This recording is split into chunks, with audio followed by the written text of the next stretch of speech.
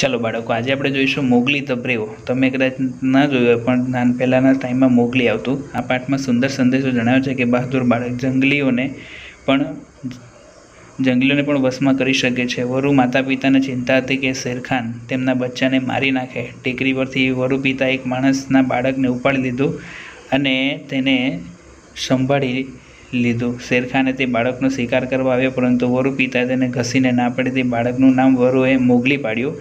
દસ વર્ષ સુધી તે વરુ પાસે રહ્યો, વૃક્ષ પર ચડવાની કળા બાલો રીંછ પાસેથી શીખ્યો બધીરા દીપડાએ તેને સીધા ચઢાણવાળી ટેકરીઓ પર ચડવાનો પ્રથમ પાઠ શીખવ્યો બલુ અને બધીરાએ તેની માણસોથી દૂર રહેવાનું શીખવ્યું.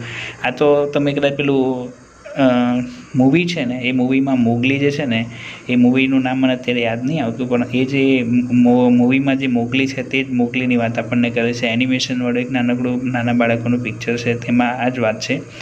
એકવાર શેરખાન કેટલાક યુવા વરુ અને વરુના માતા પિતાઓ અકેલાની વિરોધમાં ઉશ્કેર્યા તેણે અકેલાને કહ્યું કે ટોળાને તેના જેવા બળવાન નેતાની જરૂર છે. વધુમાં જણાવો કે, કોઈનું માનવાનું બચ્ચું જંગલમાં લોકો સાથે રહી ન શકે. કેટલાક વરોએ બરાડી ઉઠ્યા કે, તેને મારી નાખો. તે વખતે મોગલી શેરખાન પર હુમલો કર્યો અને સળગતી દાઢીથી શેરખાન માથા પર જોડ્યો શેરખાન લાચાર હતો અને જીવ બચાવવા ભાગી ગયો. અકેલા અને બધીરાએ મિત્રને ગર્વપૂર્વક જોઈ રહ્યા હતા અને મોગલી રડી પડ્યો. તેના જીવનમાં પ્રથમવારથી રડ્યો અને ત્યારબાદ તેણે જંગલ છોડવાની તૈયારી કરી લીધી. બરાબર?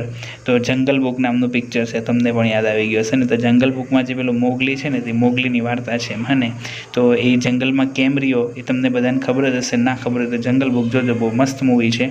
તે તેના કુટુંબને મળવા આવ્યો. વરુમાતા બોલી, દીકરા, જલ્દી પરત આવજે. મોગલીએ કહ્યું, હું આવીશ અને તમે તમને ક્યારેય નહીં બોલું. હું આવીશ ત્યારે શેરખાનની ચામડી લઈને આવીશ. મને ક્યારે બોલતા નહીં. અને મોગલી એકલો પેલા રહસ્યમય માણસોને મળવા એકલો ટેકરી પર ઉતરી ગયો. મતલબ કે જે લોકો એને મળવા માટે આવેલા હતા, તે લોકોને મળવા માટે પોતે ત્યાંથી નીકળી જાય છે. તો એ આખી જે જંગલ બુકની વાર્તા છે, એ વાર્તા આપણને અહીંયા આપેલી છે.